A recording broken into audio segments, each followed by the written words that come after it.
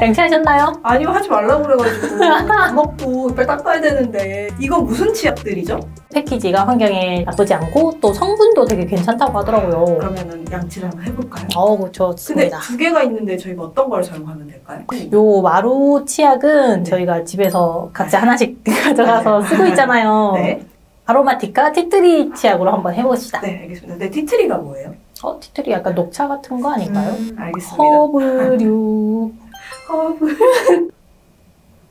오, 치약이 노란색이에요. 어, 이게 노란색인 치약은 처음 보는 것 같아요. 합성 첨가제 이런 게 안 들어가서 이런 색이 나는 거겠죠? 색소라던가 그런 것도 안 들어갔다고 하더라고요. 음. 저번에 고체 치약은 그때 제 평이 별로 좋지가 않았었죠. 맞아요, 맞아요. 좀 익숙하지 않은 그런 느낌이 나서 근데 이것도 어떨지 좀 궁금해요. 어, 매운걸요? 매운데? 아 진짜 거품이 안- 너무 안 나는데요? 네. 근데 맛은 그 경고 받았던 거에 비해서 그렇게 나쁘진 않은데요? 그러니까 향기만 있는데 네. 맛이 없는 맛이 음. 안 느껴지는 느낌? 헹궈보겠습니다. 음. 아 개운하네요.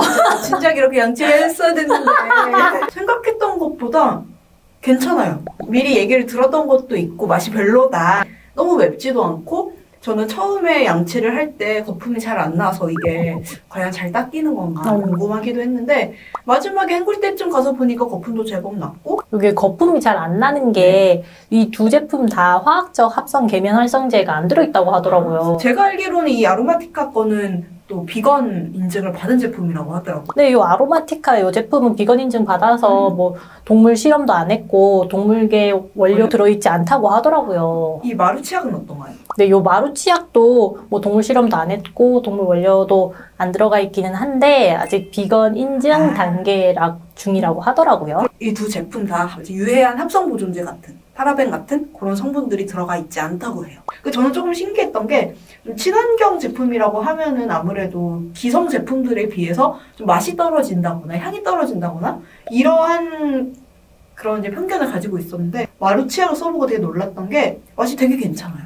오 맞아요. 음. 그냥 일반 치약처럼 페퍼민트 향 그냥 음. 쫙 나면서 어, 그럼 이 제품들 가격은 혹시 어 느 정도 될까요? 아 요 마루에프 치약은 5,900원이고 음. 요 tea tree balancing 치약은 7,000원인데 아 그렇게 크게 차이가 나지는 않네요. 어 맞아요. 이 tea tree 치약은 좀 특별한 게 있다고 하던데요. 아 요게 요거를 주문하시면은 그 상자에 보통 오잖아요. 아, 맞아요. 근데 상자도 없고 그냥 이렇게 온다고 하더라고요. 치약하면은 보통 그 상자 네모난 상자가 아, 그쵸, 거의 그쵸. 시그니처잖아요. 상자도 없으니까 음. 뭐 쓸데없는 종이 쓰레기도 안 만들고 진짜 이제 생각해 보니까 굳이 상자가 필요 없었구나 싶더라고요. 요게 플라스틱인데 네. 아덜이라서 재활용하기 힘들거든요. 지금 모습이 조금 다를 수도 있어요. 어, 뭐 바뀌었나요? 아, 그쵸. 여기 겉껍데기가 리뉴얼이 됐는데 네.